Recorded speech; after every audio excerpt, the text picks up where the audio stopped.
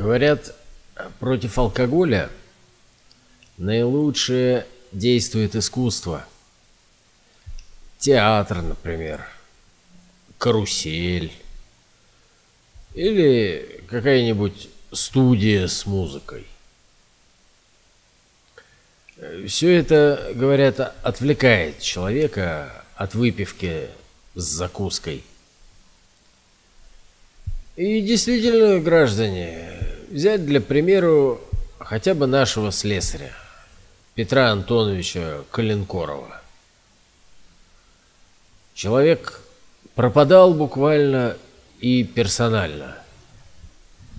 И вообще жил как последняя курица. По будням э, после работы ел и жрал а по праздникам и по воскресным дням напивался Петр Антонович до крайности. Беспредельно напивался. И в пьяном виде дрался, вала вертел и вообще пьяные эксцессы устраивал. И домой лежа возвращался.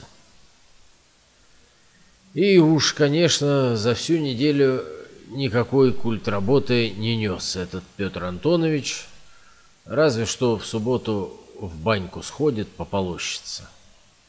Вот вам и вся культ работа. Родные Петра Антоновича от такого поведения сильно расстраивались, стращали даже.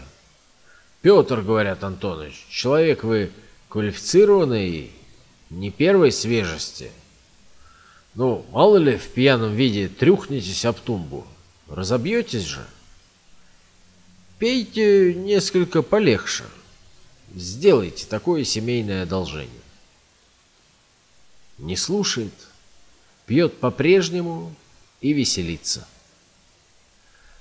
Наконец, нашелся один добродушный человек с месткома. Он, знаете ли, так сказал Петру Антоновичу. Петр, говорит Антонович, отвлекайтесь, я вам говорю, от алкоголя. Ну, говорит, попробуйте за место того в театр ходить по воскресным дням. Прошу вас честью, и билет вам дарма предлагаю. Петр Антонович говорит, ежели, говорит, дарма, то попробовать можно от чего же. От этого, говорит, не разорюсь, ежели, то есть, дарма. Упросили одним словом. Пошел Петр Антонович в театр. Понравилось. До того понравилось, уходить не хотел. Театр уже, знаете, окончился, а он, голубчик, все сидит и сидит.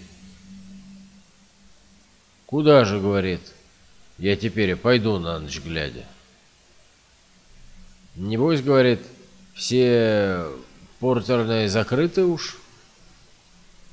Ишь, говорит, дьяволы в какое предприятие втравили. Однако поломался, поломался и пошел домой. И трезвый, знаете ли, пошел. То есть не в одном глазу. На другое воскресенье опять пошел. На третье сам в местком за билетом сбегал. И что вы думаете? Увлекся человек театром. То есть первым театралом в районе стал. Как завидит театральную афишку, дрожит весь.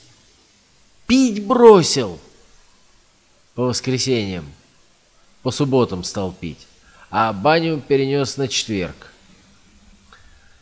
А последнюю субботу, находясь под мухой, разбился Петр Антонович об тумбу и в воскресенье в театр не пошел.